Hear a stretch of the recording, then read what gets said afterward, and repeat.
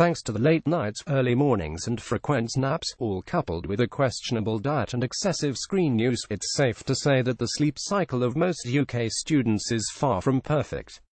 But with countless studies showing the importance of a good night's sleep for both mental and physical health, it's clear that young people heading off to university will benefit from getting the right amount of shut-eye.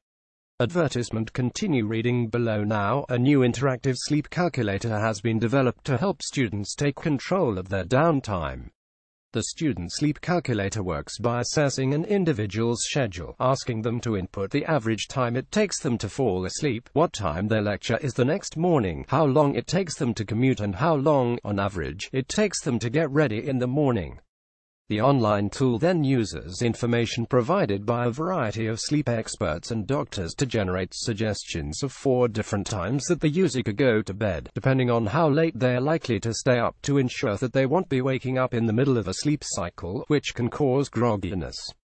A specific time to set an alarm for is also stated in order to awake in between the crucial 90-minute sleep cycles and give the student a chance to eat a healthy breakfast. Melissa Benedict, a spokesperson for Interior's website WebLines, who designed the sleep tool, said as students prepare for the beginning of a new year, it's highly likely that getting enough sleep is at the back of the minds, but getting a sufficient night's sleep and plenty of rest is crucial for lectures and the hard work they are ultimately at university to do. She added hopefully this calculator will help them to at least get an idea of healthy sleep patterns and ensure that they wake up for lectures on time and as alert as possible. Although it's probably futile to tell students to cut down on alcohol even though it will make your sleep much better, other simple steps such as reducing screen time before bed and making sure your room is dark, noise-free and a comfy temperature will also help you catch those much-needed ZZZs.